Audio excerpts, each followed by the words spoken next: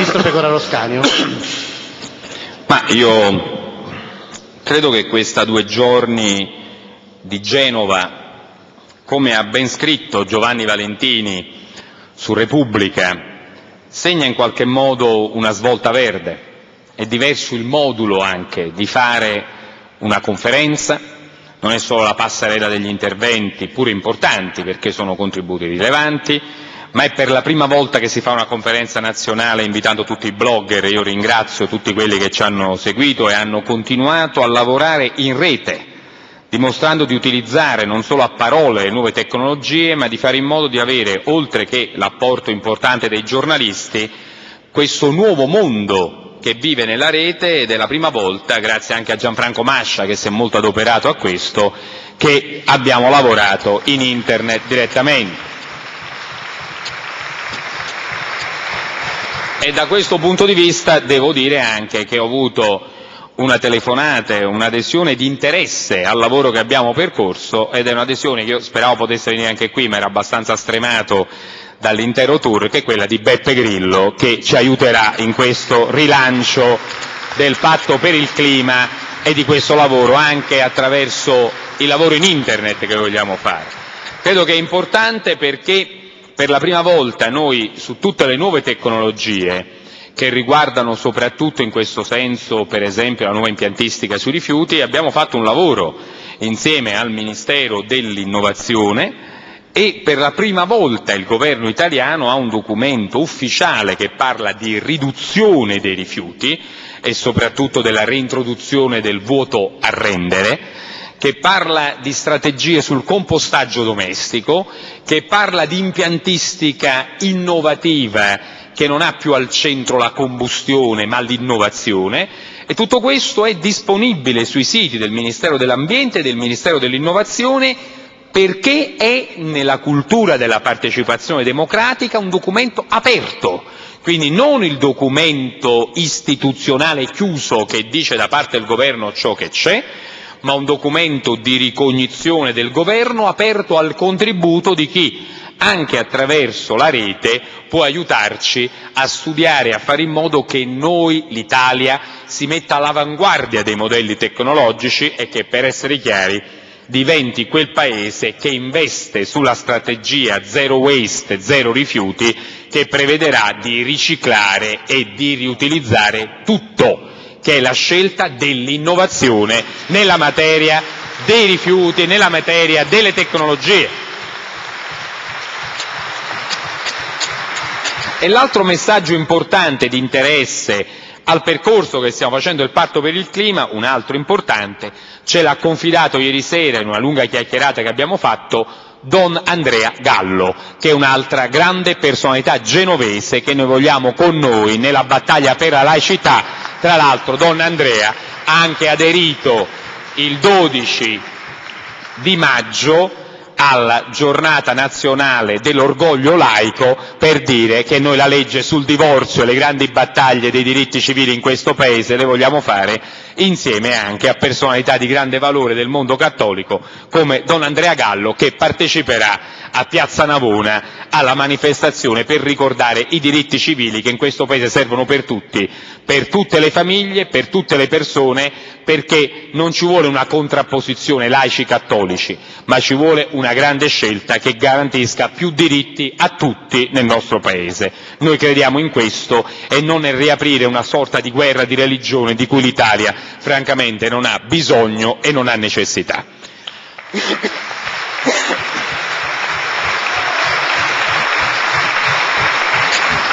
Dicevo quindi di queste eh, nuove persone, ma anche di adesioni nuove al nostro patto per il clima. Oggi diceva, raccontava l'assessore Tommasi, mi ha telefonato il presidente della regione Calabria Cazzolo Iero per comunicare la sua adesione, eh, stamattina eh, il responsabile ambiente di rifondazione ha scritto su Liberazione l'interesse e l'adesione al patto per il clima, eh, oggi anche alcuni personaggi del mondo dello spettacolo hanno dato la loro adesione, hanno dato la loro adesione Diego Abbatantuono e Claudia Cardinale che hanno letto l'appello per il clima e hanno deciso di aderire al patto per il clima dei Verdi. Mi sembrano segnali da mondi diversi, però del fatto che sempre più persone considerano il cambiamento climatico il centro della riforma della politica.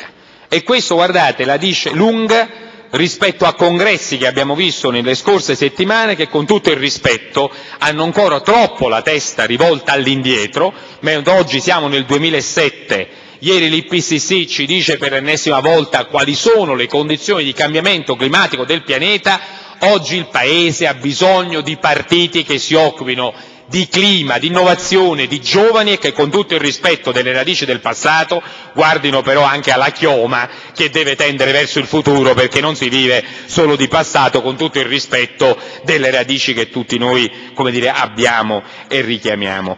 Ecco, io credo, aderito anche il Presidente nazionale dell'Ordine degli Architetti che rappresenta anche la Confederazione Italiana delle Professioni, l'architetto Raffaele Sirica, ma al sito che abbiamo messo a disposizione per il Patto per il Clima stanno continuando ad arrivare molte adesioni. Ora, il lavoro che dovremmo fare in tutta Italia e sul territorio è di eh, ragionare zona per zona, perché in tutte le province coloro che stanno lavorando con noi e che questo nuovo mondo, perché quando noi abbiamo parlato da costituente ecologista, il rilancio dei Verdi, perché come ho detto ieri ho ribadito il soggetto politico verde punta già di per sé a diventare più europeo, più forte, più esistente, andare oltre il recinto tradizionale del sole che ride, perché noi in questi vent'anni abbiamo fatto tante cose, l'abbiamo scritto anche nel, nel patto per il clima.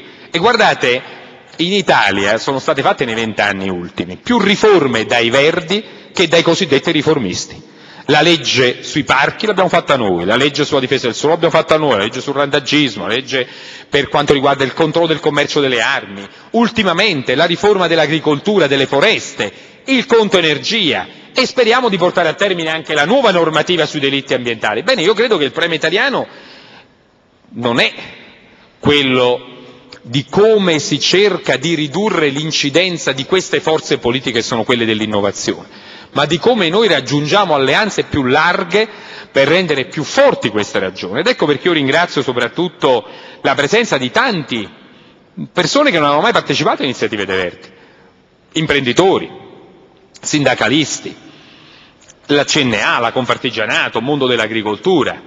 Soprattutto avete visto per la prima volta un, una conferenza di un partito che però è accompagnata da progetti concreti, da best practice, dalla capacità di capire che oggi dire, non bisogna fare solo teoria, bisogna vedere anche come in pratica si realizzano le cose che vogliamo realizzare. Quindi quando noi abbiamo scritto ecologia e economia e abbiamo usato un termine strano perché abbiamo usato il simbolo dell'euro che insomma non è tradizionale per le nostre conferenze, ma per dimostrare che si crea occupazione, si crea lavoro e si crea impresa guardando avanti, non guardando solo al passato. E allora noi siamo in grado di fare questo.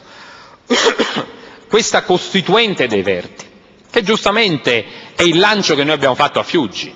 Noi a Fiuggi abbiamo scelto praticamente all'unanimità, e siamo l'unica forza politica ad averlo fatto, l'unica, di convocare entro la fine del 2008 una grande assemblea con i 600 delegati di Fiuggi dei Verdi, ma con 600 persone che verranno tra coloro che aderiscono al patto per il clima a queste iniziative, Guardate che al di là di tutte le chiacchiere, nessuna forza politica ha messo a disposizione sostanzialmente se stessa per cercare di allargarsi veramente senza rete e non cercando di fare finta di fare cose nuove che però altro non fanno che riorganizzare il ceto politico già esistente.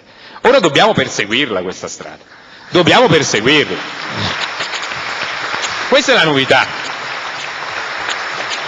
perché tutti parlano di allargarsi alla società civile, ma guardate che poi ogni atto che fanno è di spartirsi le quote tra correnti tradizionali di ceto politico.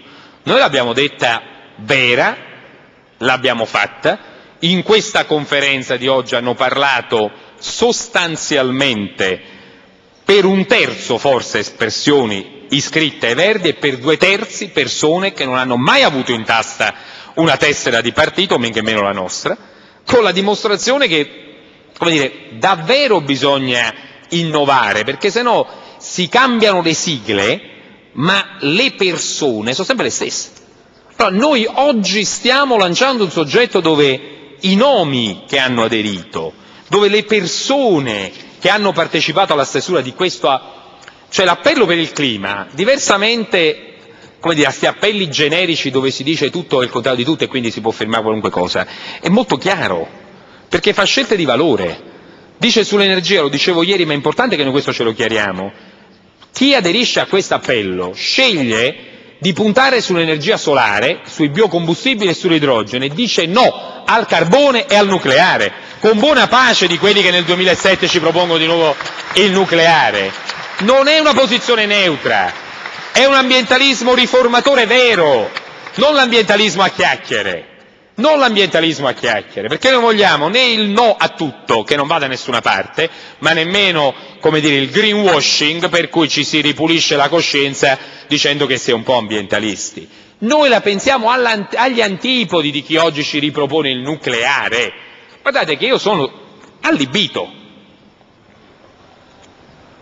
Vedo rappresentanti del mondo imprenditoriale italiano, altri rispetto a quelli che sono qui a fare l'innovazione, che ci propongono il nucleare. Guardate, per essere molto espliciti, io faccio il ministro dell'ambiente di questo Paese e le imprese e l'imprenditoria italiana in vent'anni non ci ha offerto ancora una soluzione alle scorie nucleari che abbiamo in questo Paese. Ci dicano prima dove hanno le tecnologie per risolvere i problemi, perché è irresponsabile un'impresa che vuole aprire una fabbrica e non sa come chiuderla e lascia alla collettività i costi. Noi abbiamo ancora problemi a Saluggia, a Trino Vercellese, a Caorso, al Garigliano, alla Casaccia. Questa è la realtà, è l'eredità del nucleare di questo Paese. Vergogna! Chi oggi parla del nucleare ancora non ci dà una tecnologia per risolvere e scarica sullo Stato i costi. Non è impresa questa. Questa è miopia, è incapacità di fare impresa. Chi in un paese serio fa impresa quando propone di aprire una fabbrica sa anche come chiuderla. E quindi noi rifiutiamo di discutere con chi non ha capacità tecnologiche e ci propone soluzioni quando non ci ha ancora aiutato a risolvere le soluzioni di vent'anni fa. Intanto i guai li stiamo pagando noi e li pagano i contribuenti italiani. Noi vogliamo imprese che portino benessere all'Italia, che portino profitto alle imprese, lavoro e benessere non gli speculatori che chiedono solo denaro pubblico per fare delle fabbriche e poi lasciarci a noi l'onere delle bonifiche e di un Paese che ha vissuto tanti disastri industriali dovuti proprio alla miopia e all'imperizia.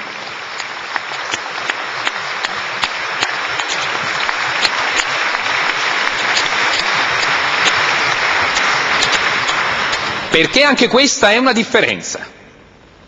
E noi vogliamo che questo sia chiaro, perché quando utilizziamo il denaro pubblico, il denaro pubblico nella versione nostra è sacro, perché il denaro del contribuente non va buttato e non va sprecato. Altro che parlare di taglio al costo della politica. Il vero taglio al costo della politica è utilizzare bene le risorse del denaro dei cittadini, non buttandolo in un'infinità di rivoli, di contributi clientelari che troppi settori in questo Paese hanno avuto risucchiando le casse dello Stato. Questo è un grande costo, che non so se si chiama costo della politica, ma sicuramente è una grande truffa che i cittadini italiani hanno subito. Quindi, per favore, noi lavoreremo anche su questo.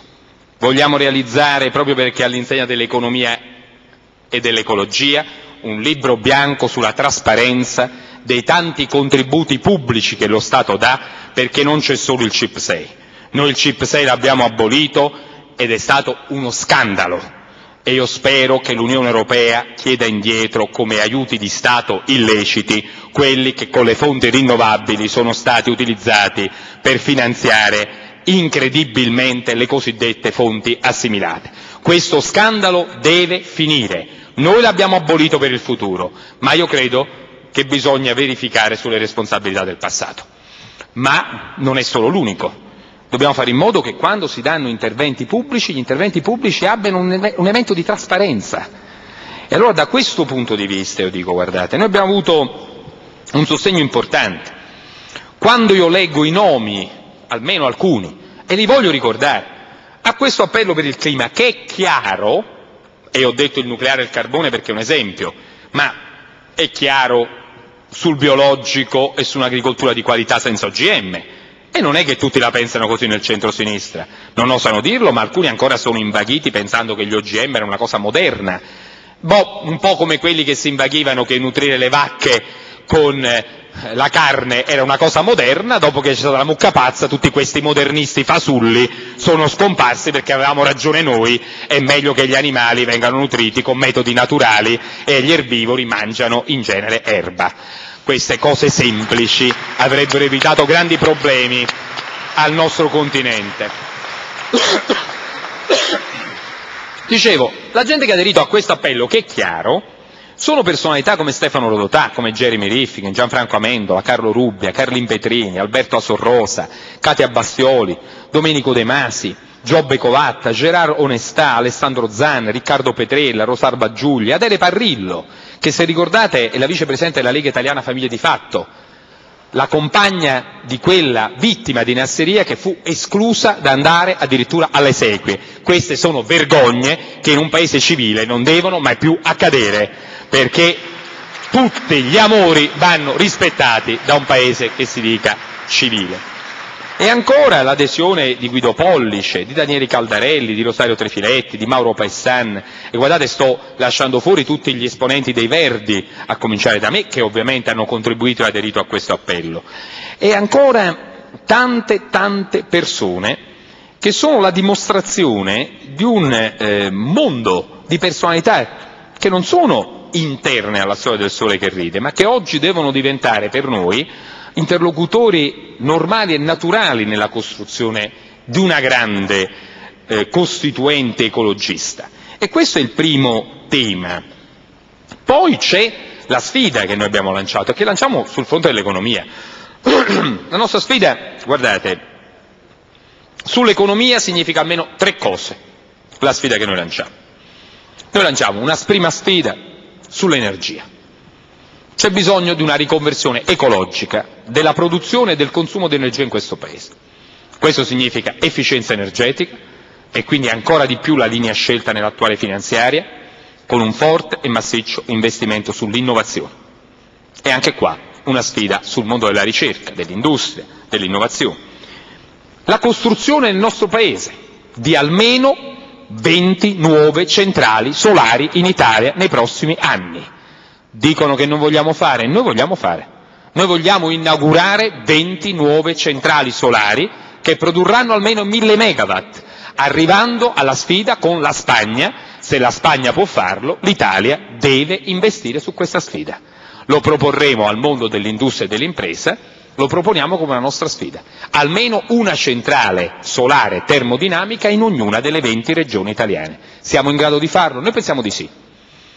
E pensiamo che bisogna facilitare anche gli strumenti burocratici, questo va fatto anche per tutto il resto dell'energia solare, dobbiamo stabilire che non è che noi lanciamo il solare e poi una serie di legacci burocratici bloccano l'installazione perfino dei pannelli fotovoltaici. Noi vogliamo far fatti salvi gli edifici storici, bisogna consentire con la massima facilità, nessuna burocrazia e rapidamente i pannelli fotovoltaici su tutti gli opifici industriali e su tutta l'edilizia che non ha pregio da un punto di vista culturale dei beni culturali.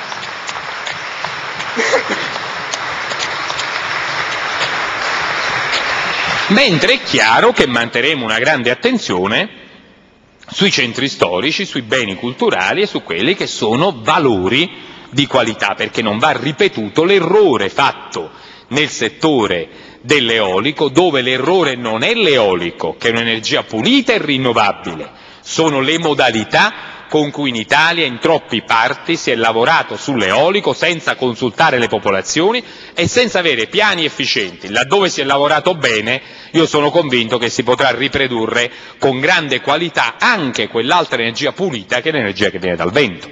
Quindi noi dobbiamo lavorare bene su questa prima sfida, l'energia almeno 20 centrali solari sono accessibili a una sfida tecnologica ed industriale. Poi c'è la seconda sfida sull'edilizia.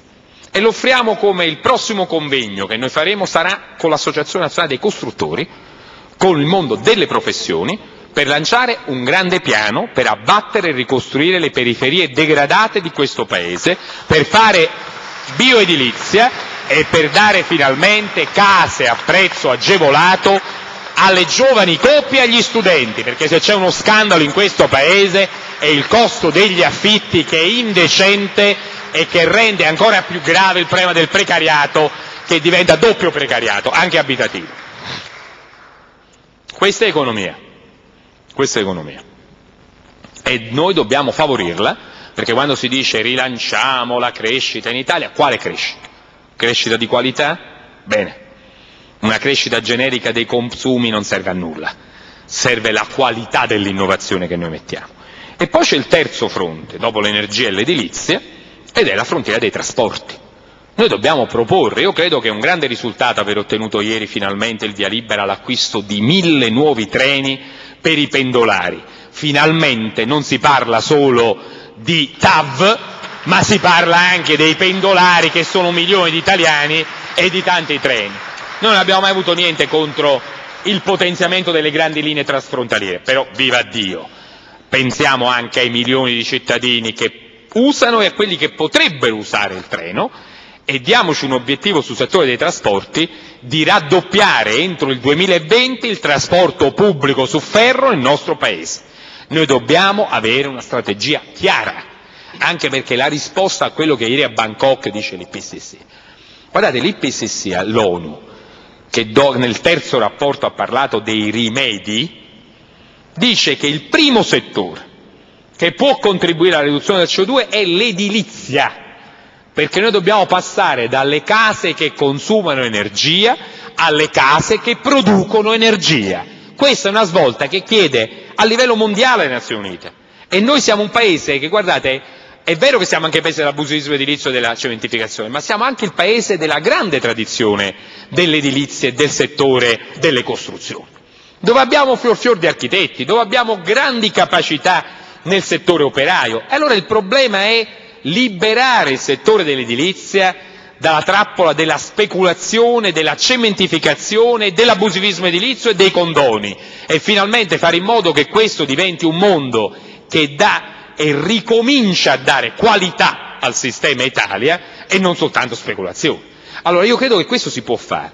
L'IPCC dice che il secondo tema saranno i trasporti e noi sui trasporti dobbiamo fare effic- efficiente il sistema del trasporto pubblico. Il problema, guardate, non è un record per il nostro Paese avere il record di automobili per abitanti d'Europa. Guardate che non è da paese ricco, questo è da paese in via di sviluppo. Noi dobbiamo avere il record della capacità di muoversi per abitanti. Non è importante avere in una famiglia quattro auto, è importante potersi muovere più velocemente per raggiungere i posti di lavoro o di divertimento che vogliamo scegliere. Quindi dobbiamo investire su una nuova modalità del trasporto pubblico e sul cambio dei carburanti. Il Paese deve andare a biocarburanti e a idrogeno. Il futuro dovrà essere quello di dire entro quanti anni noi diremo basta con le benzine, con il diesel e avremo un parco veicolare che circolerà con i nuovi carburanti che servono in questo secolo. E questa è la sfida. Ci riusciremo? Sicuramente. Il mondo dell'agricoltura è in grado di dare una risposta, come peraltro Rubbia ha anche detto in più occasioni, ma soprattutto siamo in grado di cambiare il sistema di mobilità. Quindi dobbiamo cambiare più trasporto pubblico, cambiare gli stili di vita e migliorarli, per essere più liberi, perché guardate non è una grande bellezza stare chiusi intrappolati dentro un'auto, un'auto perdendo, perdendo un pezzo della nostra esistenza chiusi dentro al traffico, e dall'altra parte un cambio dei carburanti. E quindi abbiamo questi tre grandi comparti, l'energia, i trasporti e l'edilizia, e sono tre grandi comparti, dobbiamo fare una sfida dell'innovazione. E credo che i Verdi su questo devono lavorare e quindi il prosieguo di questa conferenza saranno gli incontri con le singole categorie e con i singoli settori.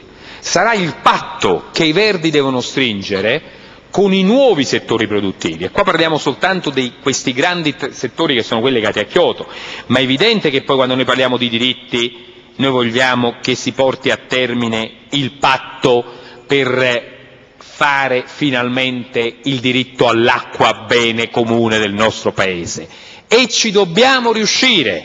bloccando le privatizzazioni selvaggio e dimostrando che il pubblico può dare una risposta efficiente al problema della qualità della gestione idrica del nostro territorio. Non è vero che non ci può essere un pubblico efficiente. Il pubblico senza clientele e lottizzazione può essere molto più efficiente di quanto noi stessi immaginiamo.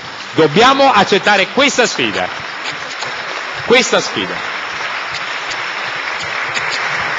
E chiudo dicendo e ricordando che poi ovviamente noi abbiamo citato e ne stiamo parlando anche qui c'è il settore dei diritti degli animali, noi vogliamo superare, come è scritto nel programma della coalizione, la vecchia logica vergognosa e scientificamente superata della vivisezione. La vivisezione è indecente, è un arcaismo scientifico che non ha più ragione di essere.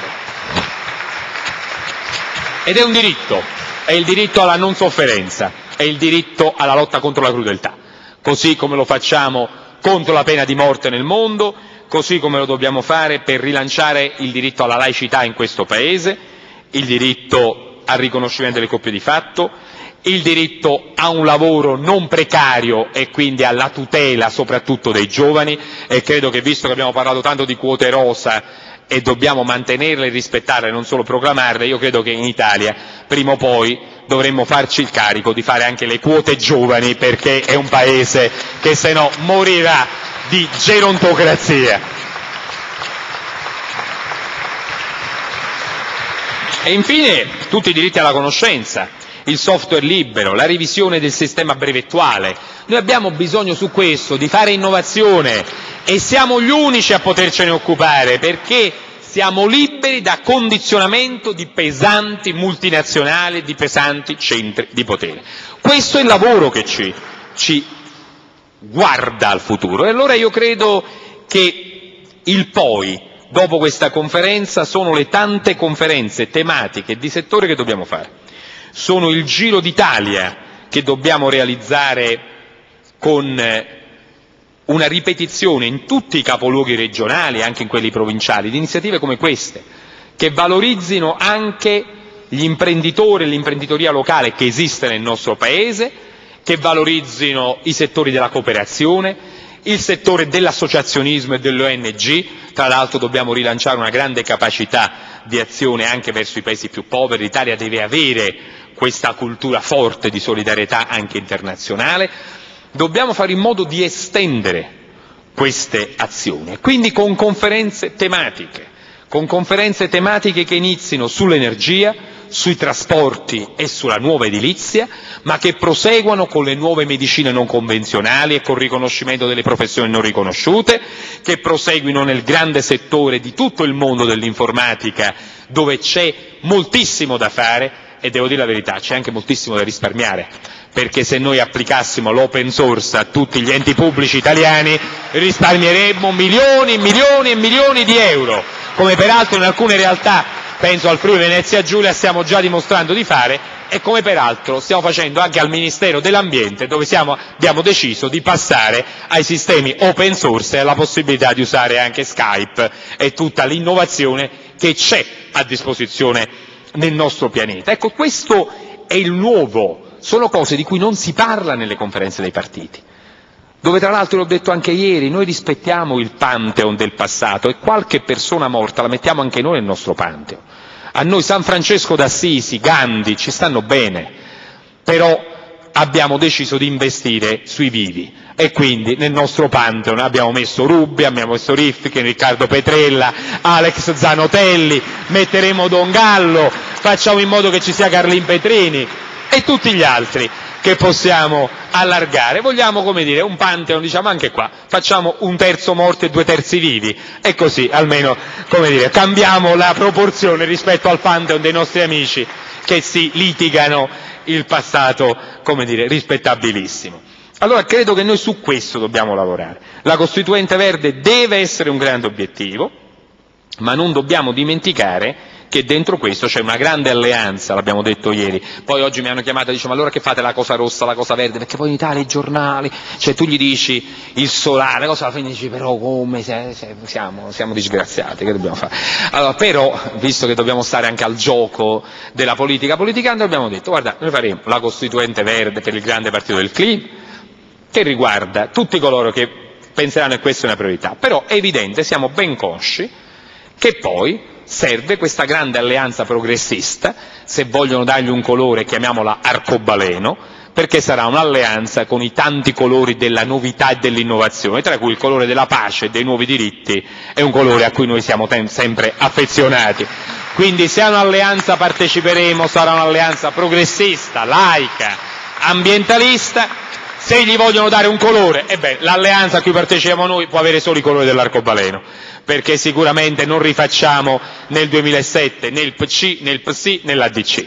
Noi abbiamo detto che questo appartengono a una grande esperienza di questo Paese, ma poiché, come dire, sono il passato, noi vorremmo guardare al futuro e quindi sicuramente, abbiamo detto ieri, il Partito Democratico ha fatto la sua scelta di andare a inseguire un elettorato centrista rispettabile, scelta importante, ma questo significa che allora c'è bisogno di una grande alleanza progressista che rappresenti i tanti uomini e donne, o donne e uomini, progressisti, ambientalisti, di sinistra, riformisti, laici, ma se no questa parte, che è oltre il 20% almeno dell'elettorato, e ma chi la deve rappresentare?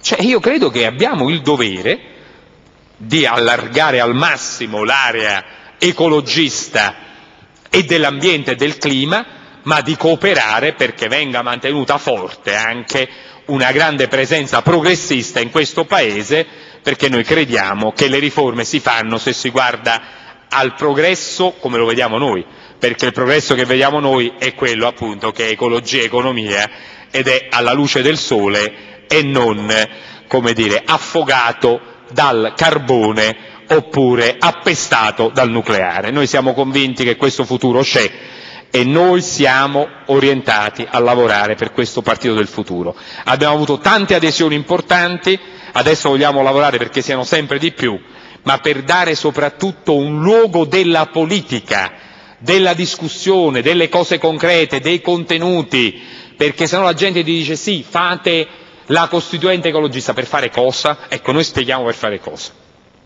Io credo che questa è la grande differenza, perché guardate, se no tutto il dibattito sembra tutto di una politica a volte incomprensibile. Quindi io credo che il lavoro che abbiamo fatto in questi giorni è molto importante. Colgo l'occasione per dire che anche gli amici di Genova, Cristina Morelli e Luca Dall'Orto, hanno molto ben lavorato per ospitarci in questo bellissimo luogo.